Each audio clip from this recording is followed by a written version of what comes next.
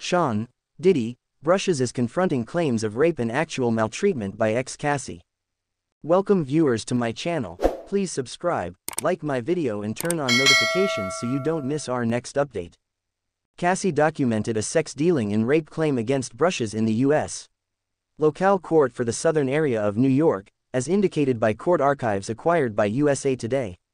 The vocalist is additionally suing Brush's organizations Awful Kid Amusement, Terrible Kid Records, Brush's Ventures, LLC, as well as Legendary Records. The protest charges that Cassie, who started an expert in sexual relationship with the rap Big Shot when she was 19, was dealt, assaulted and violently beat by looks throughout 10 years. After years peacefully in murkiness, I'm at long last prepared to recount my story, and to make some noise for myself and to support different ladies who face savagery and maltreatment in their connections, Cassie said in a proclamation. With the termination of New York's grown-up survivors move quickly drawing closer, obviously this was a chance to shout out about the injury I have encountered and that I will recuperate from until the end of my life.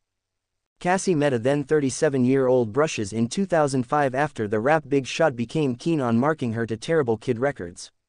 In the wake of being baited into an garish, quick-moving and drug-energized way of life, and a heartfelt connection with Brushes, Cassie charges in the claim that Brushes assumed command over her life, going from her medical services to her vocation opened doors, and employed her with medications and liquor. Mr. Searches through stated unlimited oversight Ms. Ventura's own and proficient life, in this manner guaranteeing her failure to get away from his hold, the documenting read. He gave exceptional roads progress for the hoping for craftsmen, however consequently, requested compliance, dedication and quiet. Acquiescence and quiet were additionally expected of Brush's staff and representatives at Awful Kid Amusement, Cassie asserts. Despite the fact that Brushes was inclined to wild fury and regularly beat Ms. Ventura brutally, within the sight of Brushes group, the artist claims no one tested their alarming and savage chief. Brushes likewise supposedly constrained Cassie into rehashed undesirable sexual experiences with male whores who he recruited and recorded their experiences.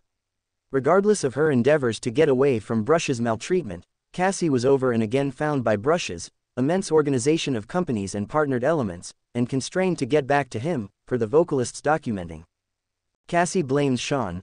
Diddy, looks over for assault, music tycoon denies charges. Following, coordinated endeavors, to split away from the relationship, Cassie joined Looks Over for supper at an Italian cafe in Malibu, California, in September 2018, as per the claim. The vocalist was mostly certain, hopefully not by mistake, that they would have a conversation about finishing up their relationship for good. After the experience, Cassie claims Brushes constrained her into her condo and attempted to kiss her. Notwithstanding his lewd gestures being denied, Brushes then, at that point, continued to assault her. For the beyond a half year, Mr. Brushes has been exposed to Ms. Ventura's determined interest of $30 million, under the danger of composing a harming book about their relationship, which was unequivocally dismissed as outright coercion, the assertion read. Notwithstanding pulling out her underlying danger, Ms. Ventura has now turned to recording a claim filled with outlandish and unbelievable untruths, planning to discolor Mr. Brush's standing and looking.